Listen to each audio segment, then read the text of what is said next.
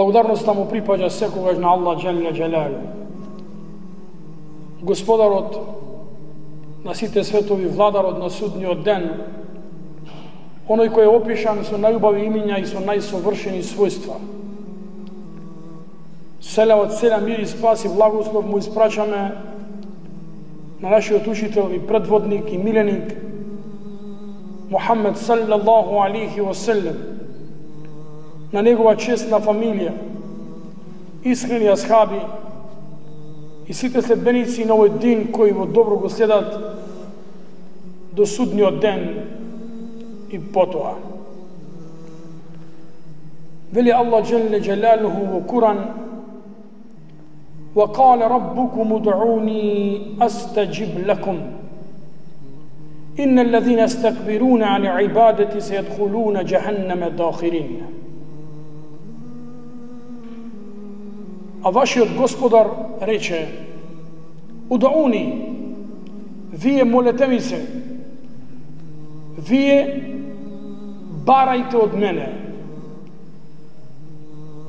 а јас ќе ви се одзвијам. Инна алладина стакбируна ан ибадати.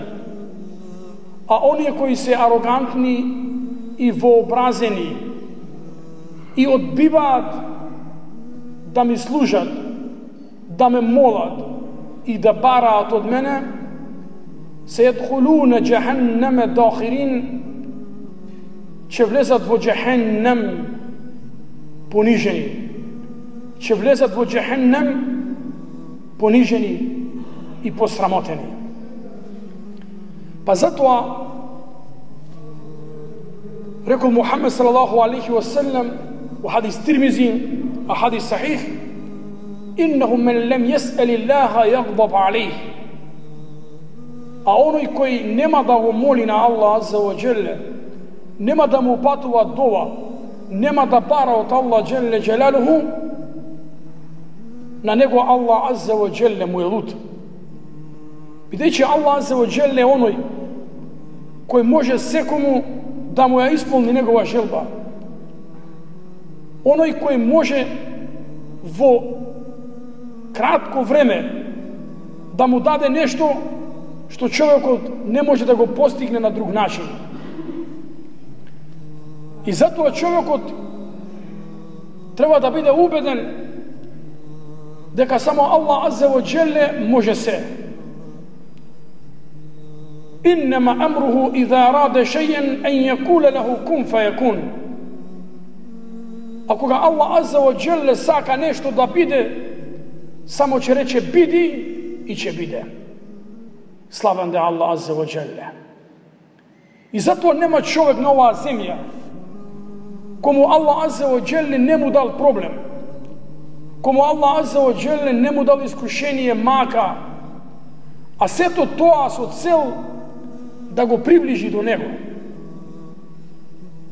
Замислете ако луѓето беа постојано здрави, ако луѓето постојано беа богати, ако луѓето постојано беа силни и млади, тогаш замисли колку луѓето ќе беа арогантни, ќе беа вообразени, луѓето и покрај секојдневни проблеми и неволи, и маки, и тешкоти, и искушенија, пак луѓето не мислат за Аллах за оджеле освен малку.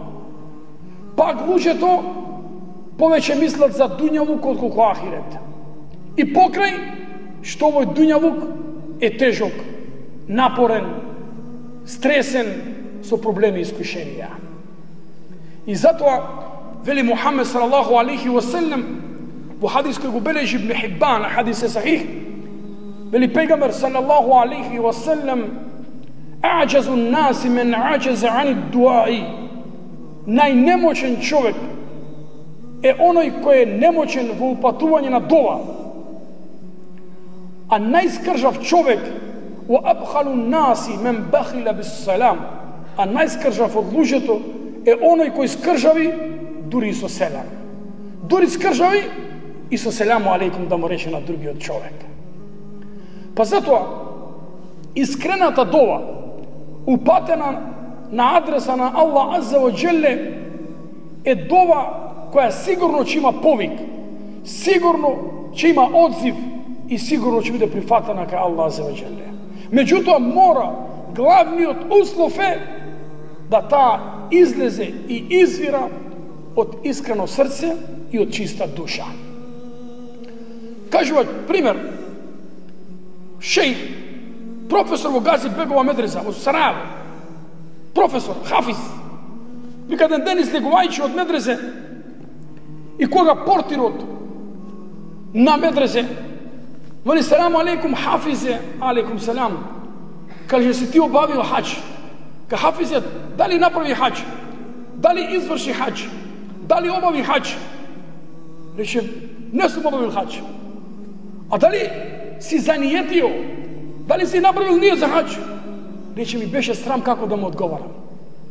Рече, направи нијет, а Аллах за оджеле прави чудо.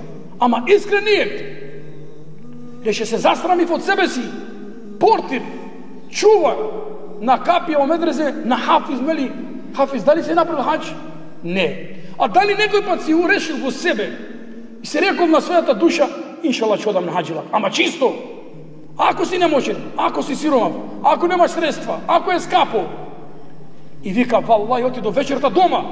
И реков, ја Аллах, правам ние чист. Дека ако Аллах ми овозможи, дека ќе обам хач. И вика, 40 дена немало вечер да легнам, а во умов да не речем, о Аллах, овозможи ми додам да на хач. Вика, не помина шест месеци. Ми се јавуваат од амбасада на Судиска Арабија. Вика, вие сте тој професор Хафиз, да.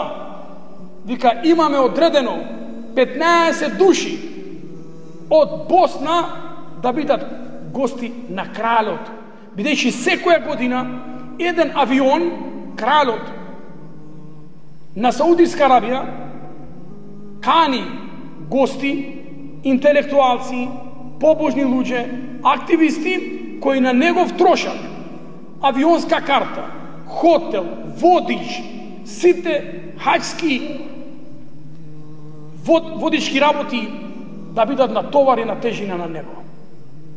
И рече, ве молиме да дојдете во амбасада, да направите копија на пасош и документи, вие сте избрани како хафис, како професор во медреза, да бидете оваа година гостин на кралот, односно да извршите хадж по свети места на трошок на Саудиска Арабија. Ова не е чудо. Ова не е чудо. Важно е само човек да учини нијет чист и искрен. Аллах за оджеле прави чуда. Аллах прави чуда. Она што не можеш да го замислиш, навечер кога ќе легнеш, сабајле може да се случи.